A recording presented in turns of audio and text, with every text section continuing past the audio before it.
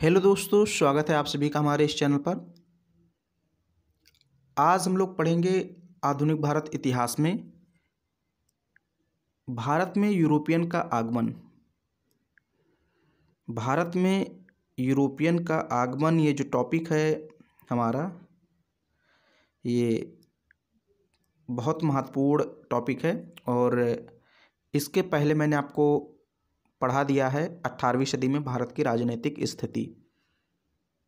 तो हालाँकि वो टॉपिक इसके बाद में पढ़ाना चाहिए। एक्चुअली में अगर हम सही क्रम से चलें तो वो टॉपिक बाद में आना चाहिए। लेकिन मैंने इसलिए पढ़ा दिया है उसको अट्ठारहवीं सदी में भारत की राजनीतिक स्थिति।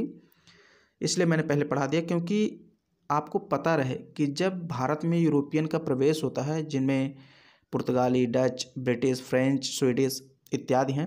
तो जब इनका प्रवेश होता है तो उसमें भारत की राजनीतिक स्थिति कैसी होती है? इसलिए मैंने उनको पहले पढ़ा दिया है कि उस राजनीतिक स्थिति कैसी थी। तो उस वीडियो को आप देख लीजिए। दो वीडियो मैंने उस टॉपिक पर बनाए हैं। तो आज हमारा जो टॉपिक होगा, वो होगा भारत में यूरोपियन का आगमन। और हम देखेंगे कि यूरोपीय कैसे आए, किन मार्गों से पहले व्यापार होता था, अब समुद्र के रास्ते से आए तो क्यों आए सारी चीज़ें हम लोग सीक्वेंस से देखेंगे, क्रम से देखेंगे। तो चलिए हम लोग इसकी शुरुआत करते हैं। भारत में यूरोपियों का आगमन। तो सबसे पहली बात, आपके दिमाग में ये चीज़, ये प्रश्न आना चाहिए कि भारत में यूरोपियन आना ही क्यों चाहते थे? वही चीज़ मैंने पहले लिखा है। भारत में यूरोपियन आना ही क्यों चाहते थे? चाहे वो प्राचीन काल की बात हो, मध्यकालीन की बात हो या आधुनिक। मैं किसी काल की यहाँ पर बेसिकली बात नहीं कर रहा हूँ। मैं तीनों काल को मिला करके बात कर रहा हूँ कि यूरोपियन भारत में आते ही क्यों थे? तो उसका सीधा सा आंसर है, मसालों के लिए। अब आप सोचेंगे कि मसालों के लिए सिर्फ़ व्यापार होता था? क्या मसालों के लिए ही आते थे? मसालों का ही व्यापार होता था? ऐसा नहीं है। बहुत सारी चीज़ें आती जाती थी, आयात निर्यात होता था, व्यापार होता था, लेकिन जो सबसे महत्वपूर्ण चीज़ है, सबसे महत्वपूर्ण चीज़ यूरोपियन के लिए, वो मसाले ही थे। बेसिकली वो मसालों के लिए व्यापार करते थे। मसालों में बहुत सारे मसाले आते हैं। तो अब आप सोचेंगे कि मसाले क्यों? क्यों? तो उसको मैं समझाता हूँ। आपको बहुत ध्यान से समझना कि आखिर वो मसालों के लिए इतना परेशान क्यों थे? देखिए, यूरोपियन के जो लोग हैं, उनका जो क्षेत्र है वो ठंडे प्रदेश में पड़ता है। चाहे आप ब्रिटेन की बात करें, फ्रांस की बात करें, स्पेन की बात करें, पुर्तगाली, डच, इन सब का जो क्षेत्र है, इन सब का जो देश है, वो ठंडे प्रदेशों में पड़ता है। तो और मसाले जो होते हैं, वो गर्म होते हैं, यानी कि अगर हम मसाले खाएँगे तो हमारे शरीर को गर्मी मिलती है। तो इसलिए इन लोग की ज़रूरत थी अपने शरीर को गर्म रखने के लिए, वहाँ की ठंड से बचने के लिए मसाले इन लोग को खाना ज़रूरी था। नहीं खाएँगे तो रह नहीं पाएँगे। तो उनकी शरीर के टेम्परेचर को बनाने के लिए, सही रखने के लिए मसाले मसालों की इनकी इनको ज़रूरत पड़ती थी, इसलिए लेकर जाते थे। ये तो एक रीजन हुआ। और क्या करते थे मसालों को ले जा कर के तो वहाँ पर जैसे मांस, मछली उनको संरक्षित करने के लिए, यानी जो खाद्य पदार्थ हैं। खाद्य पदार्थ बेसिकली ठंडे प्रदेशों में मांस, मछली वहाँ पर ज़्यादा खाया जाता है। तो मांस, मछली को अधिक दिनों तक सुरक्षित रखने के लिए, यानी कि संरक्षित रखने के लिए मसाले लेकर जाते थे। क्योंकि अगर मांस या मछली या जो भी मीट वगैरह है, उसमें अगर वो मसाला लगा करके रख देते थे तो काफ़ी दिनों तक रखा रहता रखा रहता था और ख़राब नहीं होता था। तो ये भी कारण था कि वो मसाले लेकर जाते थे। और फिर एक चीज़ ये भी है कि स्वाद के लिए भी वो मसाले लेकर जाते थे। जैसे वहाँ की जो, वहाँ के जो जानवर होते थे, ठंडे प्रदेशों के, यूरोप के तो ठंडे प्रदेशों के जानवर, अब चूँकि ठंडे प्रदेश में वहाँ घास तो पाई नहीं जाती उतना, है लेकिन बहुत कम है तो घास जब पाई नहीं जाएगी तो वहाँ के जो मवेशी होंगे, मवेशी का मतलब जो जानवर हो गए वो उतने स्वादिष्ट नहीं होते थे, उनके मांस उतने स्वादिष्ट नहीं होते थे। तो इसलिए स्वाद के लिए भी यहाँ से मसाले लेकर जाते थे, मसालों से वो मांस पकाते थे तो उसको खाते थे। तो आपको समझ में आ गया, पहली चीज़ तो है शरीर की गर्मी के लिए, यानी कि अपनी सुरक्षा के लिए। दूसरी चीज़ मैंने बताई कि मांस मछली को संरक्षित रखने के लिए और तीसरी चीज़ मैंने बताई स्वाद के लिए। तो इसलिए वो मसाले का ज़्यादा व्यापार करते थे। अब आपके मन में एक सवाल आना चाहिए कि भारत में यूरोपियन नए मार्गों की खोज क्यों करने लगे? भाई, पहले भी व्यापार होता है, आप, आपको पता होगा कि प्राचीन काल में भारत और यूरोपियन के मध्य व्यापार होता था। मध्यकालीन भारत में भी होता रहा है और आधुनिक काल में नए मार्गों की खोज करने लगे व्यापार करने के लिए तो क्या ज़रूरत पड़ी? तो उसको हम लोग देखते हैं यहाँ पर। भारत में यूरोपियन के भारत में आने के लिए यूरोपियन को नए मार्गों की खोज क्यों करनी पड़ी? यानी कि आप समुद्र के रास्ते से आ रहे हैं तो क्यों? अब इसको ध्यान से समझिए। भारत और यूरोप के मध्य व्यापार जल और थल मार्ग द्वारा होता था प्राचीन काल में। प्राचीन काल में भारत और यूरोपियन देशों के मध्य जो व्यापार होता था वो थल मार्ग से भी होता था, जल मार्ग से भी होता था। इन मार्गों की संख्या तीन थी। अब ये मार्ग आपको ध्यान में रखने हैं। तीन मार्ग थे जिनसे प्राचीन काल में भारत और यूरोप के मध्य व्यापार होता था। पहला मार्ग था फारस की खाड़ी से होता हुआ समुद्री मार्ग। फारस की खाड़ी से होता हुआ समुद्री मार्ग। इस मार्ग से इराक, तुर्की, वेनिस और जिनेवा से व्यापार होता था। इराक, तुर्की, वेनिस और जिनेवा से व्यापार होता था। ये जो मार्ग है, पहला फारस की खाड़ी से होता हुआ समुद्री मार्ग। दूसरा मार्ग लाल सागर से अलेक्जेंड्रिया का था, जहाँ से समुद्र द्वारा वेनिस और जिनेवा को जाया जाता था। तीसरा मार्ग था मध्य एशिया से मिस्र और यूरोप के लिए। तो अभी बैकग्राउंड में काफ़ी आवाज़ आ रही थी, अब शायद नहीं आ रही हो, कुत्ते भौंक रहे थे। तो ये सब चलता रहता है। इग्नोर कीजिए। तो मैंने आपको बता दिया कि प्राचीन काल में जो व्यापार होता था भारत और यूरोपियन के मध्य, वो तीन मार्गों से होता था। उसको आपको ध्यान में रखना है। पहला मार्ग फारस की खाड़ी से होता हुआ समुद्री मार्ग था। इससे इराक, तुर्की, वेनिस और जिनेवा से व्यापार होता था। दूसरा मार्ग लाल सागर से होता हुआ अलेक्जेंड्रिया का था, जहाँ से समुद्र द्वारा वेनिस और जिनेवा को जाया जाता था। तीसरा मार्ग मध्य एशिया से मिस्र और फिर यूरोप के लिए था। तो ये थे, मैं इसको कलर चेंज कर देता हूँ इसका। रेड ठीक रहेगा। लेकिन अब ये जो तीन मार्ग थे, क्या हुआ कि इन तीन मार्गों को छोड़कर हमें नए मार्गों की खोज करनी पड़ी भारत से व्यापार करने के लिए? चलिए देखते हैं हम आगे। देखिए, वर्ष चौदह में उस्मानिया सल्तनत ने एशिया माइनर को जीत लिया और कुस्तुनतुनिया पर अधिकार कर लिया। तो पूरब और पश्चिम के पुराने व्यापारिक मार्ग तुर्कों के नियंत्रण में आ गए। इस तरह पूर्वी देशों और यूरोप के बीच व्यापारिक मार्ग पर अंकुश लग गया। पारंपरिक व्यापारिक मार्ग, पारंपरिक का मतलब होता है जो प्राचीन काल से होता आ रहा है तो उस व्यापारिक मार्ग पर अंकुश लग गया। इसका मतलब यह है, देखिए, यहाँ पर मैं आपको बताता हूँ कि उस्मानिया सल्तनत मतलब तुर्क। और एशिया माइनर का मतलब है तुर्क वाला इलाका। बेसिकली कुस्तुनतनिया तुर्क का क्षेत्र है। और अगर आप व्यापार करेंगे मतलब तीन मार्ग से व्यापार जो मैंने आपको बताया था, पहले होता था, उनमें से किसी भी मार्ग से अगर आप यूरोप जाना चाहेंगे, किसी भी मार्ग से, तीनों में से किसी भी मार्ग से अगर आप यूरोप जाना चाहेंगे तो बीच में आपको कुस्तुनतुनिया से होकर ज़रूर जाना पड़ता था। मतलब कुस्तुनतुनिया बीच का क्षेत्र था, यूरोप और पूर्वी देशों के मध्य। उससे होकर आपको जाना ही जाना था। लेकिन अब चूँकि कुस्तुनतुनिया पर तुर्कों ने अधिकार कर लिया, उस्मानिया सल्तनत यानी तुर्कों ने अधिकार कर लिया तो अब ना तो भारत के लोग यूरोप में जा सकते थे, ना तो यूरोप के लोग भारत में आ सकते थे। इस रास्ते से, इन तीनों रास्तों से जो मैंने अभी आपको बताया। ऐसा इसलिए क्योंकि अगर आते तो तुर्क लोग पकड़ करके उनका धर्मांतरण करा देते। उनका धर्म चेंज कर देते। और उनका जो माल रहता, व्यापार का, वस्तुएँ रहती, उनको लूट लेते। तो इसलिए अब तुर्कों से शत्रुता कौन मोल ले? और यूरोपियन को मसालों की सख्त ज़रूरत है, क्योंकि मसालों के बिना तो वो रह ही नहीं सकते।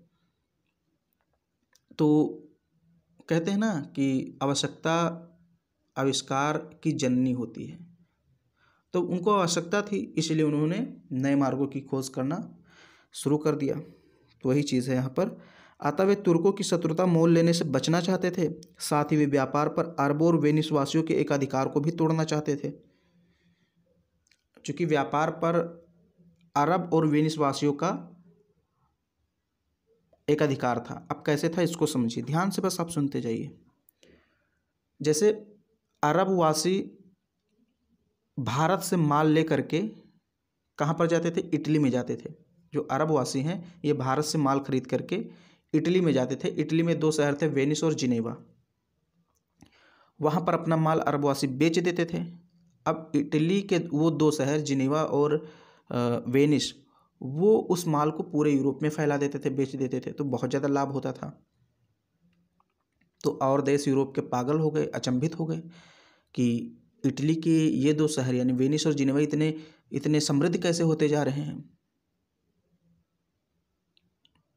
तो सोचने लगे कि ज़रूर कहीं ना कहीं से लोग बहुत सस्ती वस्तुएँ ला करके और यहाँ अच्छे दाम में बेचते हैं और नफ़ा कमाते हैं, इसलिए ऐसा हो रहा है। तो अरब और वेनिसवासियों का एक अधिकार था, उसको तोड़ना चाहते थे, क्योंकि वेनिसवासी नहीं चाहते थे कि कोई अन्य यूरोपीय राष्ट्र भी जाए और व्यापार करे भारत से या पूर्वी देशों से। यानी ये अपना एक अधिकार बनाए रखना चाहते थे लेकिन लेकिन जो नए देश थे, जैसे पुर्तगाल, स्पेन और जो अन्य राष्ट्र थे, वो भी चाहते थे कि हम भी व्यापार करें, हम भी मुनाफा कमाएँ। तो इस कारण भी लोग, यानी कि यूरोप के जो नाविक थे, वो समुद्री मार्गों की खोज करने लगे, नए मार्गों की खोज करने लगे। इसके अलावा आपको बता दूँ कि पुनर्जागरण भी हो चुका था यूरोप में उस समय तो पुनर्जागरण के कारण लोगों में दुस्साहसी कार्य करने की भावना भर गई थी। दुस्साहसी कार्य करने का मतलब ये है, जोखिम लेकर कोई भी कार्य करना। दुस्साहसी कार्य करना मतलब साहस साहस वाला कार्य, यानी जोखिमपूर्ण कार्य। तो लोग अब डरते नहीं थे। नाविक जो थे, वो जोखिमपूर्ण कार्य करने में उनको बहुत मज़ा आता था। उत्साह आ गया था पुनर्जागरण के कारण। समुद्र से अब उनको डर नहीं लगता था कि समुद्र में अगर हम जाएँगे रास्ता खोज, खोजेंगे तो आगे क्या होगा, क्या नहीं होगा, ये सब बहुत नॉर्मल हो गया था। अच्छी अच्छी जहाज़ें बन चुकी थी उस समय पुनर्जागरण में जहाज़ों का निर्माण किया गया। मज़बूत जहाज़ें थीं जो तूफानों को झेल सकती थीं। दिक सूचक यंत्र का आविष्कार तो चीन में हो ही गया था, जिससे दिशा दिशा भी अपूर्ण नहीं भटक भटक सकते थे। यानी दिशा का ज्ञान उनको अच्छे से हो सकता था। तो ये सारी चीज़ें हो गई, जिस कारण उनको एक प्रोत्साहन मिला कि हम नए मार्गों की खोज करें और आवश्यकता तो थी ही मसालों की, वो तो अलग बात है, वो तो मैंने आपको बताया ही। तो वही चीज़ है कि इसके अलावा पुनर्जागरण ने पश्चिमी यूरोप के लोगों में दुस्साहसी कार्य करने की भावना खूब भर दी थी। अब यूरोपियन आएँगे भारत में तो अब देखिए, एक तो यूरोपीय कंपनियाँ आएँगी भारत में और एक नाविक आएँगे। तो एग्ज़ाम में जो प्रश्न आते हैं, वो दो टाइप के आते हैं। कभी कभी ऐसा पूछ लेता है कि भारत में आने वाले नाविकों का क्रम क्या है? तो अगर नाविक पूछें तो सबसे पहले पुर्तगाली आते देखिए, ये डेट पर मत जाइए। डेट वैसे मैंने लिख दिया है, लेकिन ये जो डेट हैं, इस पर आपको बहुत ज़्यादा ध्यान नहीं देना है। आपको एक क्रम ध्यान देना है, क्रम। क्योंकि ये जो इतिहास के तारीखें होते हैं इसमें थोड़ा बहुत इधर उधर रहता है। हो सकता है मैंने मैंने जो डेट लिखी है, हो सकता है आप किसी बुक में पढ़ें तो वहाँ कुछ दूसरा हो। तो इसलिए डेट पर आपको नहीं ध्यान देना हाँ लेकिन ये ज़रूर चीज़ें आपको ध्यान देनी है कि क्रम क्या है। तो अगर नाविक की बात करें, यूरोपीय कंपनियों के आगमन के क्रम में नाविक की बात करें तो सबसे पहले पुर्तगाली आए थे, नाविक, फिर उसके बाद डच आए, फिर अंग्रेज़ आए, फिर डेनिस आए डेनिस यानी कि डेनमार्क के, और फिर फ्रेंच, फिर स्वीडिश। तो पुर्तगाली, पुर्तगाल के डेन और डच डच ये हॉलैंड के थे, हॉलैंड देश था, देश है। और फिर अंग्रेज़ तो ब्रिटिश, ये तो थे ही इंग्लैंड से। डेनिस डेनमार्क, फ्रेंच, फ्रांस से और स्वीडिश, स्वीडन से आए थे। तो ये क्रम हुआ नाविकों का। अब यहाँ थोड़ा सा अंतर है। अगर हम कंपनियों की बात करें तो सबसे पहले पुर्तगाली आए थे, यानी नाविक भी पहले पुर्तगाली और कंपनी भी पहले पुर्तगाली आई। अब यहाँ देखिए एक फ़र्क हो जाता है। फिर पुर्तगाली के बाद अंग्रेज़ आ जाते हैं और डच अंग्रेज़ के बाद में आते हैं। ध्यान से देखिए दोनों में क्या अंतर है। यहाँ डच पहले आते हैं, यहाँ अंग्रेज़ पहले हो जाते हैं। यहाँ डच तीसरे नंबर पर, यहाँ डच तीसरे नंबर। इन्हीं दोनों में फ़र्क हो जाता है। बाकी डेनिस फ्रेंच, स्वीडिश सबका क्रम वही रहता है। बस यहीं पर अंतर होता है तो ये बात ध्यान में आपको रखनी है।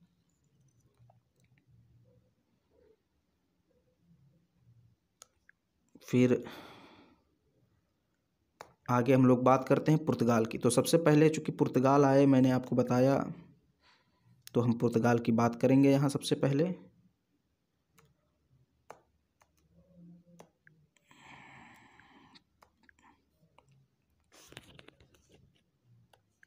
पुर्तगाल। बेसिकली यहाँ पुर्तगाली होना चाहिए, या पुर्तगाल कह लीजिए। इटली की नगरों से प्रलोभित होकर पुर्तगाली भी भारत से व्यापार करना चाहते थे। मैंने आपको बताया कि इटली के जो दो नगर थे, वेनिस और जिनेवा, वो सस्ते दाम में माल को खरीद कर अरबवासियों से, चूँकि अरबवासी भारत से खरीदते थे, फिर अरबों से कौन खरीदता था? वेनिस और जिनेवा। तो सस्ते दाम में माल खरीद करके पूरे यूरोप में बेचकर बहुत ज़्यादा मुनाफा कमाते थे, समृद्ध होते जा रहे थे। तो जो पुर्तगाली थे, वो इन, इनके इस समृद्धि से प्रलोभित हो गए और वो भी सोचने लगे कि भारत से हम व्यापार करेंगे। चौदह सौ अट्ठानवे में पुर्तगाल के नाविक वास्को डिगामा ने एक नया समुद्री मार्ग खोज निकाला, जिससे वह उत्मासा अंतरीप का चक्कर काटते हुए भारत के कालीकट बंदरगाह केरल तक पहुँच गया। ये आपने पढ़ा होगा। पुर्तगाली कौन था? वास्को डिगामा कब आया चौदह में। और कहाँ आया? तो कालीकट बंदरगाह, जो कि केरल में स्थित है। उत्तमाशा अंतरीप का चक्कर काटते हुए उत्तमासा अंतरीप का मतलब यहाँ पर है अफ्रीका का जो दक्षिणी छोर है। अफ्रीका के सबसे दक्षिण में एक देश से है दक्षिण अफ्रीका, और उसी दक्षिण अफ्रीका का दक्षिणी पॉइंट है उत्तमाशा अंतरीप। उसको घूम, घुमा करके, यानी वहीं से घूम करके मेडागास्कर पहुँचता है। मेडागास्कर के पास उसको एक गुजराती व्यापारी मिलता है, क्योंकि उसके आगे उसको रास्ता ही नहीं पता था। जो वास्को डिगामा था, उसको रास्ता पता नहीं था कि अब मेडागास्कर से कहाँ जाएँ, भारत किधर है। तो वहाँ पर उसको एक गुजराती व्यापारी अब्दुल मजीद मिलता है और उसकी सहायता से वो कालीकट बंदरगाह पर पहुँच जाता है। कालीकट में उस समय एक हिंदू शासक शासन कर रहा था, जिसकी, जिसने जमूरिन की उपाधि धारण की थी। उसका नाम तो वर्णन नहीं किया गया कि उसका नाम क्या था, लेकिन इतना पता है कि वो जमोरिन शासक था, हिंदू शासक था और उसने जमोरिन की उपाधि धारण की थी। तो वो उसका बहुत तह दिल से स्वागत करता है वास्को डिगामा का।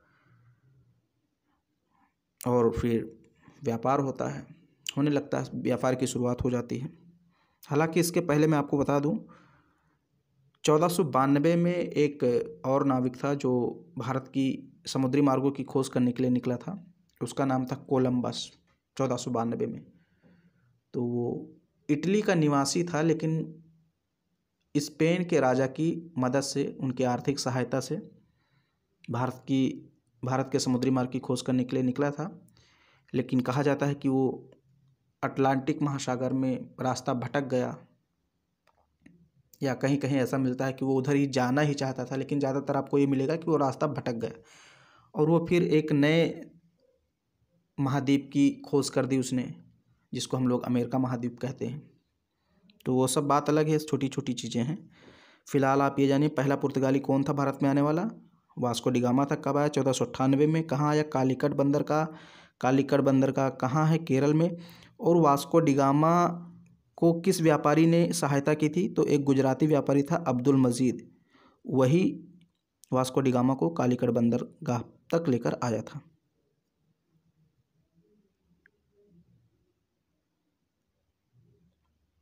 फिर आगे हम लोग देखते हैं। वास्को डिगामा भारत से जिन मसालों को लेकर वापस अपने स्वदेश लौटा वह पूरी यात्रा की कीमत के साठ गुना दामों पर बिका। यानी कि वास्को डिगामा जब यहाँ पर आया तो जितना वो मसाला यहाँ से लेकर गया, उसको जब बेचा तो उसके आने जाने के पूरे मूल्य का उसको साठ गुना अधिक दाम वहाँ पर मिला। यानी कि मान लीजिए, उसके भारत आने जाने का किराया एक रुपया लगा हो कुल मिलाकर टोटल तो उसने उस माल को वहाँ साठ रुपये में बेचा, यानी साठ गुना उसको मुनाफा मिला। तो इस लाभकारी घटना ने पुर्तगाली व्यापारियों को भारत आने के लिए आकर्षित किया। अब और जो पुर्तगाली थे, वो भी आने लगे। पंद्रह सौ में पेड्रो पंद्रह सौ ईस्वी में पेड्रो अल्वेरेज कैब्रॉल के नेतृत्व में दो जहाजी बेड़ भारत आए। पेड्रो अल्वरेज कैब्रॉल पंद्रह सौ ईस्वी में। ये भी एक पुर्तगाली नाविक ही था तो ये भी आया व्यापार करके गया। वास्को डिगामा पंद्रह सौ दो में दूसरी बार भारत आता है। दूसरी बार भारत आया और पंद्रह सौ तीन ईस्वी में पुर्तगालियों ने कोचीन के पास अपनी पहली व्यापारिक कोठी बना ली। तो ये चीज़ आपको ध्यान में रखना है कि पुर्तगालियों ने अपनी पहली व्यापारिक कोठी कब बनाई? 1503 में पुर्तगालियों ने बनाई अपनी पहली व्यापारिक कोठी और कहाँ बनाई कोचीन में। व्यापारिक कोठी कही ऐसी को आप फैक्ट्री कह दीजिए। बेसिकली फैक्ट्री जैसे आज होती है वैसे नहीं होती थी पहले फैक्ट्री। फैक्ट्री का मतलब एक गोदाम होता था जहाँ पर ये अपने माल को रखते थे। तो 1503 में पुर्तगालियों ने कोचीन के पास बनाई। 1505 ईस्वी में कन्नूर में दूसरी फैक्ट्री बनाई। तो दोनों याद रखना। हालाँकि जो सबसे पहली अगर हम बात करें सबसे पहली फैक्ट्री कब बनाई थी तो वो कालीकट में ही बनाई थी। आ, लेकिन उसको जमूरिन ने वहाँ के जो शासक थे जमूरिन उसने उसको बंद करा दिया था। तो वो वो चीज़ आप मत उसको ध्यान में रखिए। बस इतना जानिए कि पहली फैक्ट्री कोचीन में बनी। कोचीन में बनी पंद्रह सौ तीन में और दूसरी बनी कन्नूर में पंद्रह सौ पाँच में। फिर आगे है। अब अब हम यहाँ पर देखेंगे पुर्तगाली वायसराय। पुर्तगाली वायसराय आए, उन्होंने यहाँ पर अपनी अपनी नीति अपनाई और व्यापार किया। तो पुर्तगाली वायसराय में जो सबसे पहला पुर्तगाली था, वो था फ्रांसिस्को डी अल्मीडा। और ये 1505 से 1509 ईस्वी तक भारत में पुर्तगाली वायसराय के रूप में रहा। Francisco de Almeida. यह भारत में पहला पुर्तगाली वायसराय था? इसने कहा था, इसका कहना था, क्या कहना था? वन मिनट हाँ इसने कहा था, यह बात निश्चित रूप से कही जा सकती है कि जब तक समुद्र पर तुम्हारा प्रभाव है, तब तक सम, तब तक भारत पर तुम्हारा प्रभाव बना रहेगा। इसने कहा कि जब तक समुद्र पर तुम्हारा प्रभाव है, तब तक भारत पर तुम अपना प्रभाव बनाए रखोगे। अतः उसने भारत पर प्रभुत्व स्थापित करने के लिए मज़बूत सामुद्रिक नीति का संचालन किया, जिसे ब्लू वाटर पॉलिसी अथवा शांत जल की नीति कहा जाता है। तो शांत जल की नीति तो शांत जल की नीति जो थी, वो किसने लागू की? फ्रांसिस्को डी अल्मीडा ने। शांत जल की नीति या ब्लू वाटर पॉलिसी बेसिकली एक ऐसी नीति थी जिसके द्वारा इसने मज़बूत सामुद्रिक नीति का संचालन किया, यानी कि समुद्र पर अपना नियंत्रण स्थापित कर लिया। क्योंकि पुर्तगालियों के पास मज़बूत नौसैनिक बेड़ा था, जहाज़ थे तो इन्होंने समुद्र पर अपना नियंत्रण स्थापित कर लिया और इसका मानना भी था कि अगर आपका नियंत्रण समुद्र पर है तो आप भारत पर नियंत्रण रख सकते हैं, अपना प्रभाव बना सकते हैं। 1508 में वह चौल के युद्ध में गुजरात के शासक से परास्त हो गया था हार गया था पराजित हो गया था। चौल का युद्ध 1508 में हुआ। एक तरफ़ गुजरात के शासक थे दूसरी तरफ़ फ्रांसिस्को डी एलमीडा पुर्तगालियों की तरफ़ से था। परास्त हो गया पुर्तगाली गवर्नर ये वाइस राय। 1509 ईस्वी में उसने महमूद बेगड़ा मिस्र तथा तुर्की के शासकों के समुद्री बेड़े को पराजित किया। यानी कि मिस्र बे, महमूद बेगड़ा और तुर्की, इन ये तीनों शासक एक तरफ़ थे। और दूसरी तरफ़ था Francisco de Almeida. Francisco de Almeida ने इन तीनों के समुद्री बेड़े को हरा दिया। ये आपको बस थोड़ी ऐसे ध्यान में रखनी है थोड़ी चीज़ें, जैसे ब्लू वाटर पॉलिसी, चौल का युद्ध है, ये सारी चीज़ें आपको याद रखनी है। बाकी यहाँ से कोई विशेष प्रश्न नहीं पूछे जाते हैं, लेकिन फिर भी फिर जो दूसरा था वो था अल्फांसो डी अल्बुकर्क 1509 से 1515 देखिए, नाम थोड़ा एक ही जैसा है। ये था फ्रांसिस्को डी अल्मीडा और ये है अल्फांसो डी अल्बुकर्क। यह भारत में दूसरा पुर्तगाली वायसराय था। उसने अल्मीडा की ब्लू वाटर पॉलिसी को बंद करवा दिया। ब्लू वाटर पॉलिसी को इसने बंद करवा दिया। 1510 में उसने बीजापुर के शासक यूसुफ आदिल शाह से गोवा छीन लिया। 1510 में अल्फांसो डी अल्बुकर्क ने बीजापुर के शासक यूसुफ आदिल शाह से युद्ध करके गोवा छीन लिया। अल्बुकर्क ने पुर्तगालियों को भारतीय स्त्रियों से विवाह करने के लिए प्रोत्साहित किया। क्योंकि ये चाहता था कि इसका मानना था कि अगर हम भारत पर अपना पूर्ण प्रभाव स्थापित करना चाहते हैं, नियंत्रण स्थापित करना चाहते हैं तो यहाँ के धार्मिक रीति रिवाजों को, संस्कारों को, परंपराओं को हमको जानना पड़ेगा। अल्फांसो डी अल्बुकर का मानना था। तो अब कैसे जान पाएगा? तो उसने एक नीति बनाई कि हम लोग या हमारे जो पुर्तगाली हैं, ये भारतीय स्त्रियों से शादी विवाह करेंगे और फिर धीरे धीरे हम उनके समाज को समझ जाएँगे, उनकी संस्कृति को समझ जाएँगे तो हम अपना नियंत्रण बेहतर रूप से स्थापित कर पाएँगे। तो इसलिए इसने पुर्तगालियों को भारतीय स्त्रियों से विवाह करने के लिए प्रोत्साहित किया। अल्बुकर्क ने महसूस किया कि पूर्वी व्यापार के मुख्यतः तीन केंद्र हैं। इसको इसने जाँच पड़ताल की और कहा कि पूर्वी देश के जो व्यापार के केंद्र हैं, वो मुख्यतः तीन केंद्र हैं।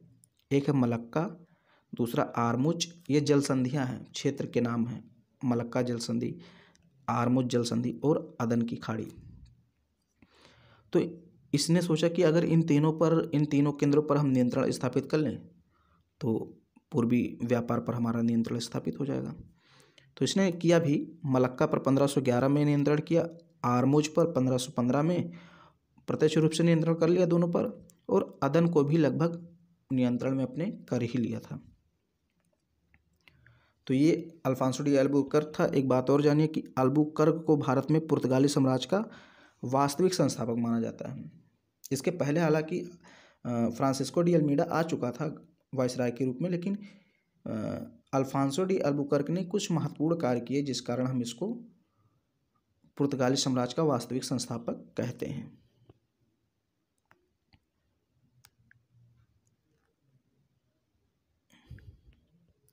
फिर जो अगला महत्वपूर्ण वायसराय होता है, वो होता है Nuno da Cunha. Nuno da Cunha.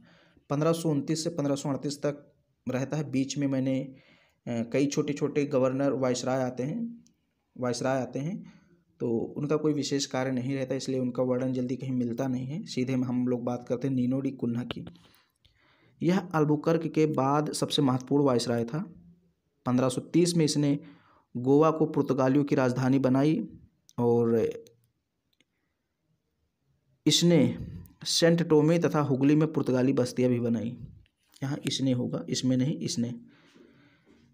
इसने गुजरात के शासक बहादुर शाह से मुलाकात के दौरान जहाज़ पर उनकी हत्या करके बसीन 1534 में तथा दीव 1535 में इस पर अपना अधिकार स्थापित कर लिया। यानी इस पर आधिपत्य स्थापित कर लिया, अधिकार कर लिया। गुजरात के जो शासक थे, उन्हीं के अधीन में बसीन और दीव दोनों क्षेत्र आते थे। तो गुजरात के शासक से मुलाकात करने के दौरान हाथ मिलाते समय किसी तरह से उनकी हत्या कर दी और दोनों क्षेत्रों पर अधिकार स्थापित कर लिया। पुर्तगालियों ने फारस की खाड़ी, आरमूज तथा हिंद महासागर में अपनी चौकियाँ स्थापित की। भारत का, जापान के साथ व्यापार का श्रेय भी पुर्तगालियों को ही जाता है। यानी भारत का, जापान के साथ जो व्यापार शुरुआत हुई, उसका श्रेय भी पुर्तगालियों को ही जाता है।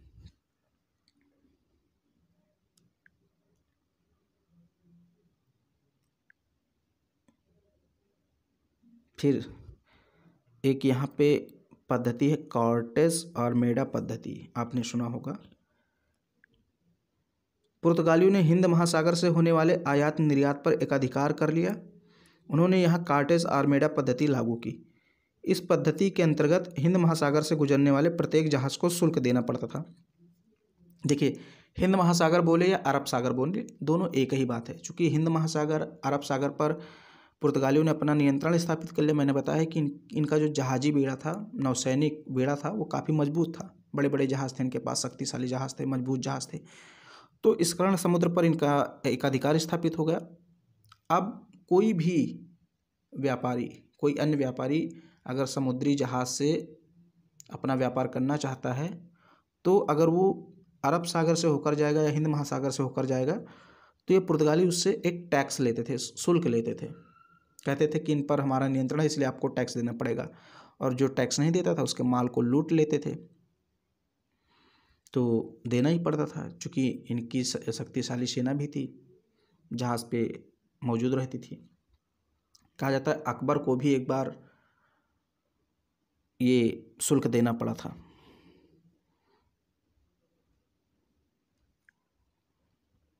अब यहाँ पर हम बात करते हैं, पुर्तगालियों ने भारत को दिया क्या? कुछ चीज़ें थी जो पुर्तगाली भारत में लेकर आए। जैसे तंबाकू, आलू, टमाटर की खेती। पुर्तगालियों ने भारत में शुरुआत की इसकी। जहाज़ निर्माण तथा प्रिंटिंग प्रेस यहाँ तथा होगा। तथा। देखिए, एक दो जगह टाइपिंग मिस्टेक हो सकती है। जहाज़ निर्माण तथा प्रिंटिंग प्रेस की शुरुआत, यानी छपाई खाना जो है, इन सब की शुरुआत भी भारत में पुर्तगालियों ने ही की। स्थापत्य कला में गोथिक कला का विकास। गोथिक कला एक शैली है, जैसे हमारे यहाँ स्थापत्य कला में द्रविड़ शैली है, वैसे ही यूरोपीय शैली है, गोथिक शैली जिसको हम बोलते हैं तो उसकी शुरुआत भारत में पुर्तगालियों ने की। गोथिक कला या गोथिक शैली इसको आप बोल सकते हैं। पुर्तगालियों के पतन का कारण क्या था? क्यों पुर्तगाली हमारे भारत में ज़्यादा देर तक नहीं रह सके? आप देखेंगे कि अभी हम आगे पढ़ाएँगे ब्रिटिश, जब अंग्रेज़ आएँगे तो 200 वर्षों तक शासन करते हैं। तो देखिए, धार्मिक असहिष्णुता, पहला कारण इनके पतन का यही था कि इन्होंने आते ही धर्म में हमारे हस्तक्षेप कर दिया। जैसे इन्होंने इन्होंने भारतीय व्यापारियों संघ लूटपाट की, भारतीय महिलाओं संघ वैवाहिक नीति अपनाई। अब ये विवाह शादी करने लगे यहाँ से। तो जो हमारा समाज था वो नाराज़ हो गया कि ये ना हमारे समाज को जानते हैं, ना हमारे रीति रिवाज परंपराओं को जानते हैं तो उसको मानेंगे कैसे? और शादी करने लगे, जबरन शादी कराने लगे। मराठों और मुगलों द्वारा इनका काफ़ी विरोध किया गया। इस कारण ये ज़्यादा दिन तक टिक नहीं पाए। आगे हम लोग देखेंगे। और भी यूरोपीय कंपनी आती हैं। डच आएँगे, ब्रिटिश आएँगे, फ्रेंच आएँगे, उनके बारे में भी हम लोग चर्चा करेंगे। तो आज हम लोग इतना ही रखते हैं। आगे की चर्चा हम लोग बाद में करेंगे अगले वीडियो में। और आप लोग को अगर वीडियो पसंद आए तो इसको लाइक कर दीजिए, शेयर कर दीजिए। चैनल पहली बार आए हैं तो चैनल को सब्सक्राइब ज़रूर कीजिए।